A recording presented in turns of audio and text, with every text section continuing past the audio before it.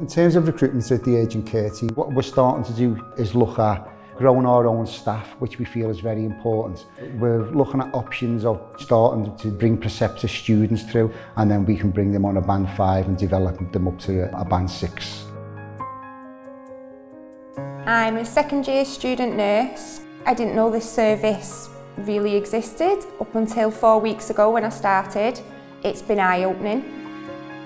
In 2018, a opportunity came up within this team to apply for a advanced nurse practitioner. Things are were absolutely amazing, to be honest. Um, and again, the things that I can use with me for the rest of my career.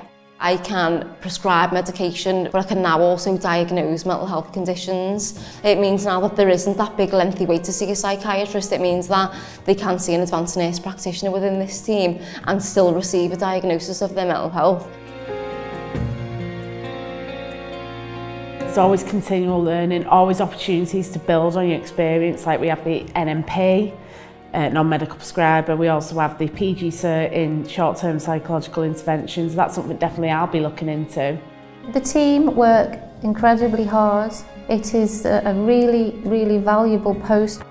It's really a role where you can um, increase your skills and expertise across all different areas of crisis intervention.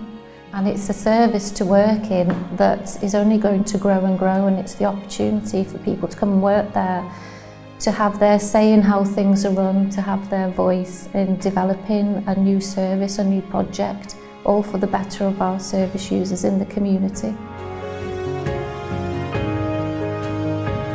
I've been made to feel so welcome. There's so many uh, staff here and every single one of them brings something different to the team. So that team ethos is the biggest prevalence that's how the team started and how it's continued 16 months on.